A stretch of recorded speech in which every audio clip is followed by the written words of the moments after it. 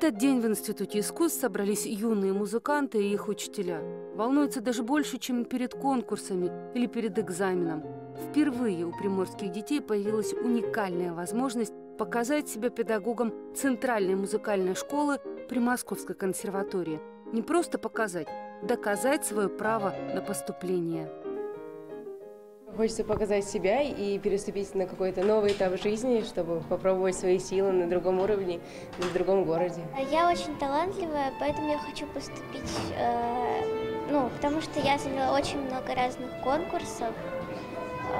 А программа сложная у тебя? У меня программа сложная. Мне, ну, а что ты играешь?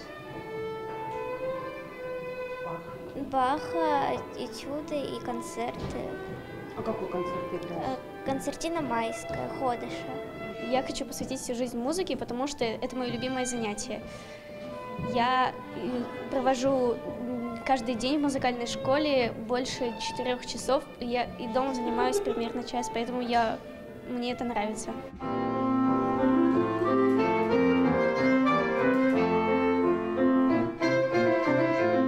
Прослушивании дети со всего Дальнего Востока. Исключительно талантливые практически все отличники и лауреаты конкурсов. Но для того, чтобы поступить, этого недостаточно.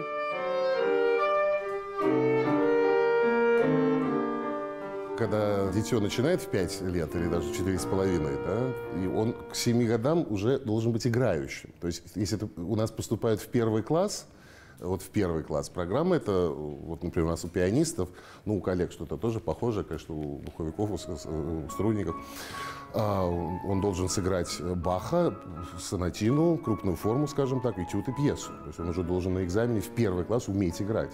В первый, да. Вот в чем проблема. Поэтому вот в этом смысле достаточно жестко.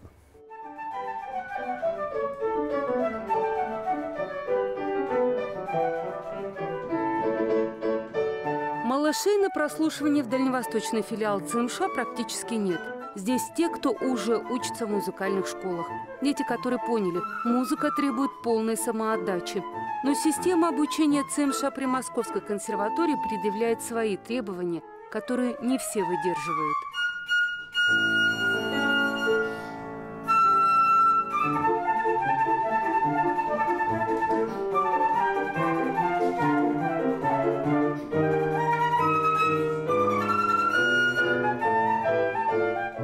Физически не выдерживают. Уровень очень высокий. Кто с интересом учится, тому не так сложно.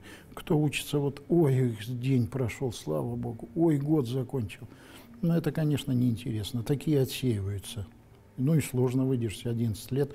Потом же после этого сразу в консерваторию без училища. И уровень высочайший.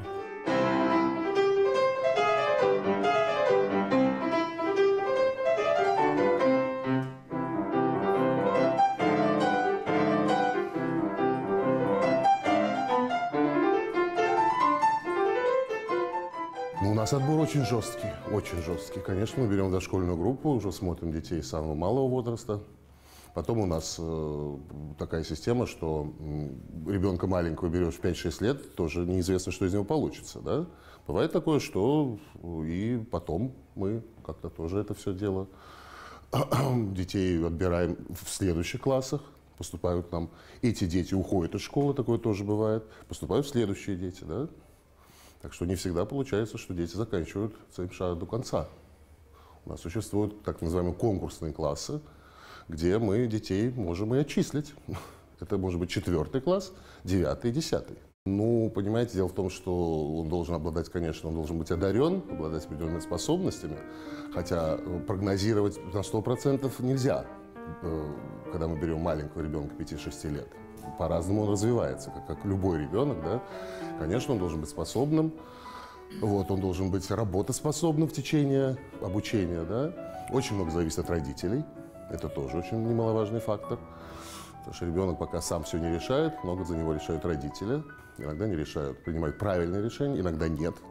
Поэтому это тоже влияет на процесс образования. Если ему написано на роду стать музыкантом, стать э, исполнителем, да, или просто музыкантом, не обязательно даже исполнителем. Хотя мы готовим исполнителей, да, солистов даже, можно сказать. Судьбы бывают разные, дети идут в какие-то, может быть, другие сферы, связанные с музыкой, с искусством, да. Но в основном, конечно, вот у нас ориентировано обучение на исполнительство.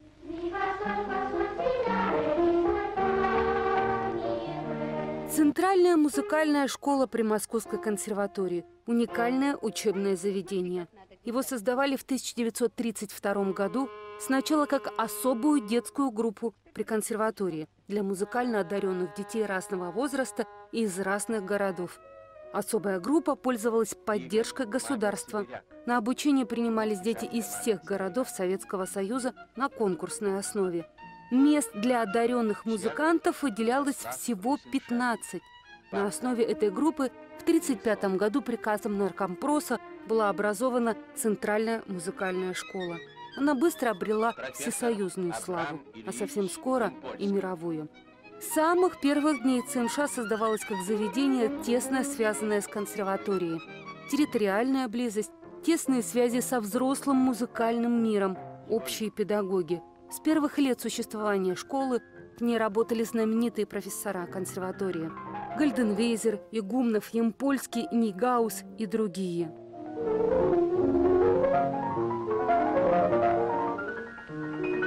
Маргарита Федорова сдает этюд Скрябина профессору Генриху Нейгаузу.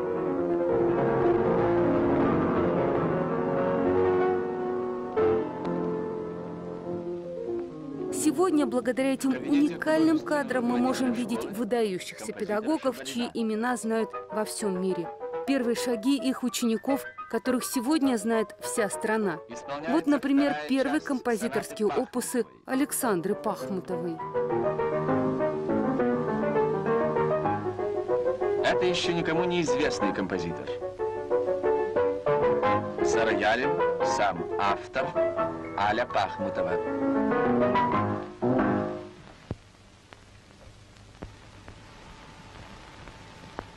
Ну хорошо, Аля.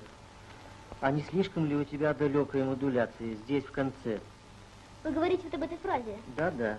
Хорошо, я ее исправлю. Ну ладно. А кто у нас следующий?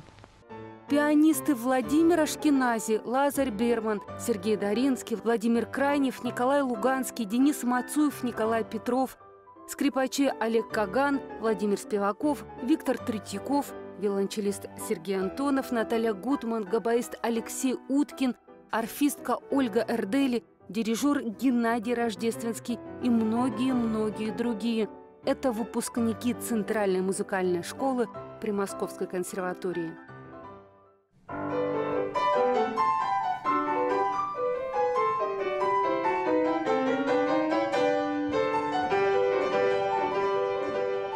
Теперь у дальневосточных детей есть возможность стать частью этой истории. 70 юных музыкантов принимают участие в прослушивании, играют полифонию, крупную форму, технический этюд.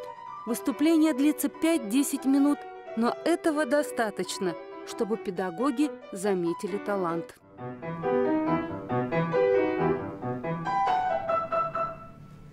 Вы понимаете, дело в том, что это немало времени.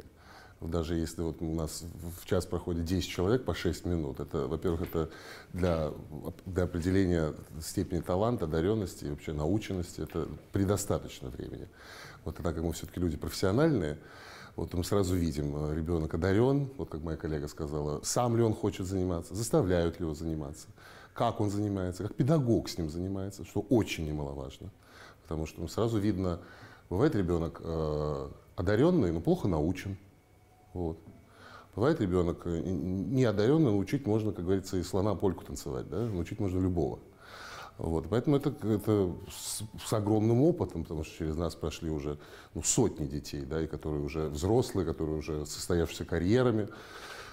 Поэтому э, можно сказать, что мы это все сразу видим. С первых нот? Практически с первых нот. Даже если было две минуты, мы бы тоже, надеюсь, уверен, поняли бы.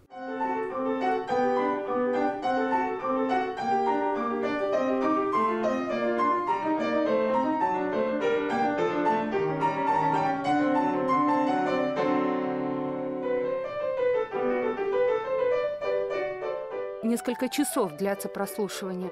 Педагоги оценивают не только уровень учеников, их учителей, особенность дальневосточной школы и локальный ритм жизни.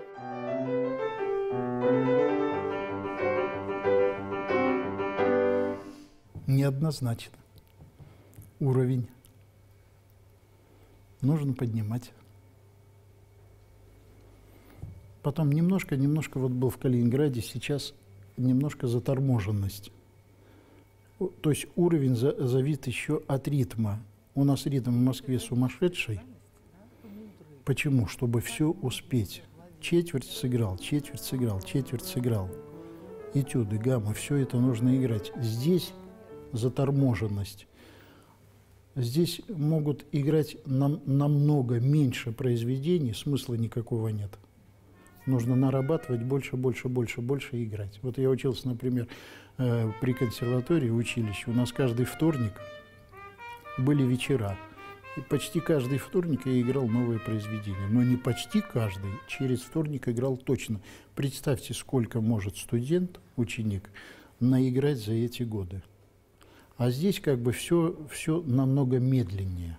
Поэтому развитие чуть тормозит.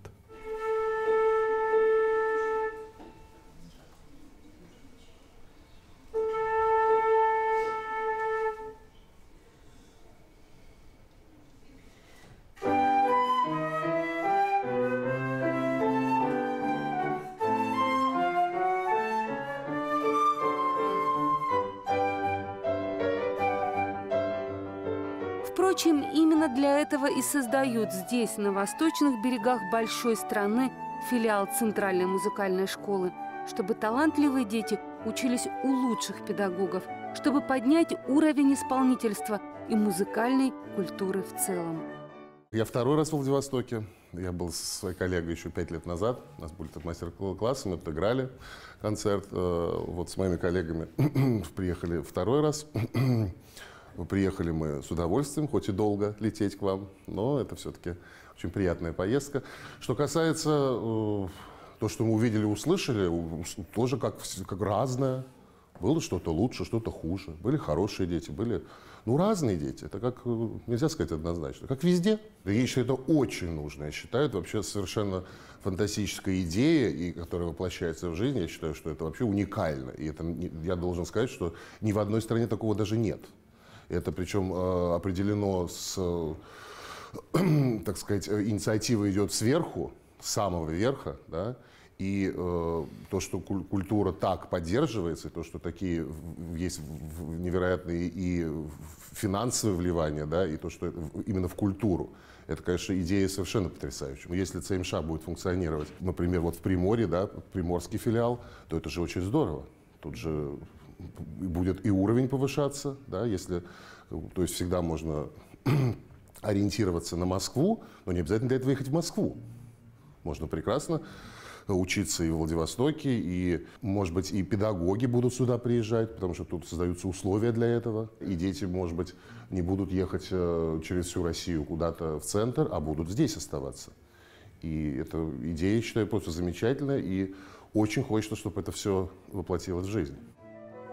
13 детей с Дальнего Востока получат возможность учиться в филиале ЦМШ при Московской консерватории. Их имена пока не называют. Кандидатуры еще обсуждают в Москве. Но уже точно известно, осенью в стенах Дальневосточного государственного института искусств начнутся уроки. У тех, кто прошел конкурс, начнется новая жизнь. Трудная и прекрасная. А такие экзамены станут традицией музыкального сообщества Дальнего Востока.